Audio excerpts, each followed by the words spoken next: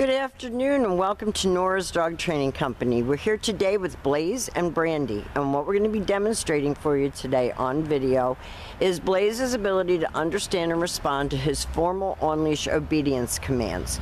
The correction and very little motivation that is needed when we're working with him and the training equipment that we're using. Brandy is using a regular six foot web training leash and she keeps the bulk of that leash folded neatly in her right hand. That leaves her left hand free to give any correction that's needed, and the only correction that we give is a tug and let go on the training collar. And that is the second piece of equipment that we're using. You're going to be introduced to that training equipment and taught how to use it properly during your follow up training session. Now, Blaze is sitting very nicely at Brandy's left, which is where all of our obedience training is done. And the first exercise that we're going to demonstrate for you, which is probably one of the most important ones for you, is proper heeling. Heeling is proper leash walking, and the command is Blaze heel. Now, at this point, Blaze has a job to do, and that is to maintain pace with you when he's walking. So, when you're in the campground walking with him, and you stop to talk to somebody, he should sit automatically without being told to wait for his next command. So make sure that when you're walking him, that he's under control, that his shoulders are next to your left leg, that he's not pulling you down the street, that he looks like he's well mannered, and each time that you stop your feet, that he's sitting automatically without being told to wait for his next command. Now, if he doesn't sit, you saw Brandy give that little tug on the leash as a reminder to him that whatever it is you're doing isn't correct. And I've been out here with him for 15 minutes and he's been sitting every time. So occasionally you may have to reinforce it. This time Brandy's going to leave him in a sit stay. She's going to use her left open palm, an inch or so from his muzzle, and the one word command to stay. The sit stay should be for one minute, working up to three minutes. And when you start practicing, I would start practicing at home rather than at the campground so that when you go to the campground, you feel confident. When Brandy returns back to him, she walks all the way around him counterclockwise, and he knows to remain seated until he gets his next command. And they're going to take off heeling again. Everything with him is about self control, focus, maturity, the ability to pay attention to commands.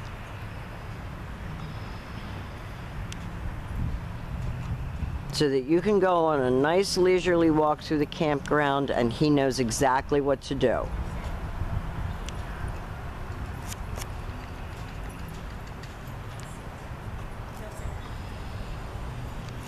Brandy's going to leave him in another sit stay. She's going to walk out to the end of her leash. And the next command that we're going to demonstrate is the recall. The recall is the come on command. Blaze come. Blaze come is the command, and he is to come back, and he's supposed to sit. There you go. Brandy heels him right out of that.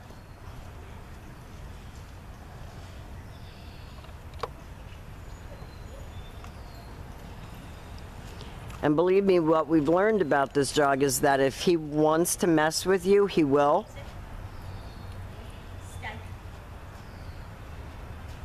So you have to work him through it. You can't give up, and you have to make sure that he knows that you're in control. Comes right in. That time he came right in and sat the way he was supposed to. And then he goes back to heel and back sitting. Good.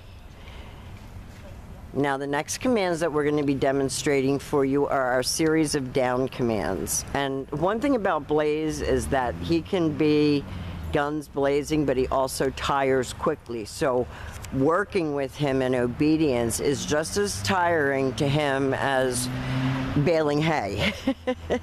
now the next command that we're going to demonstrate for you is the down from a heel position. So with your dog seated at your left, you take your left open palm, straight down toward the ground on the one word command to down and stay. Your long down stay you can practice right indoors. You should work up slowly to five minute long down stay. When Brandy returns back to him, she walks all the way around him, returning all the way back to his shoulders. And she heels him out of that.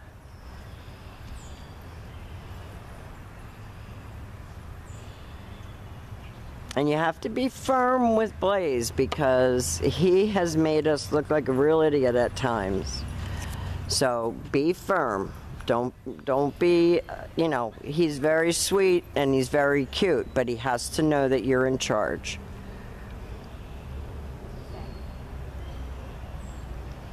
And Brandy has worked her butt off with him.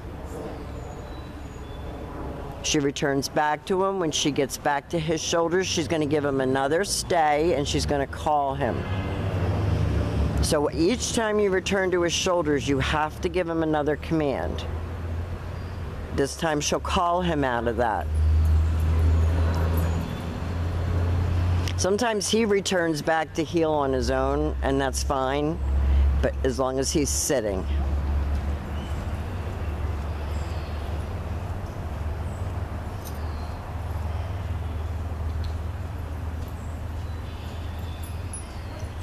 And the last command that we're going to be demonstrating for you today is you're down from a distance. So he has to be sitting first. Leave him in a stay. You turn to face him. You're going to use your right hand to give the command and drop him into a down from a distance. And you can tell just in the amount of time that we've done this video and the short amount of time that Brandy worked with him before we started that he's already tired and it's getting warm out, so that's going to even tire him more quickly. So we've demonstrated for you all of Blaze's formal on-leash obedience commands. We have started some off-leash for you as well some intermediate training that Brandy will be going over with you. I'm going to talk to you about what day you should come to get him. We have enjoyed every minute of Blaze and we're looking forward to your graduation. We will see you very soon and thank you for choosing Nora's Dog Training Company.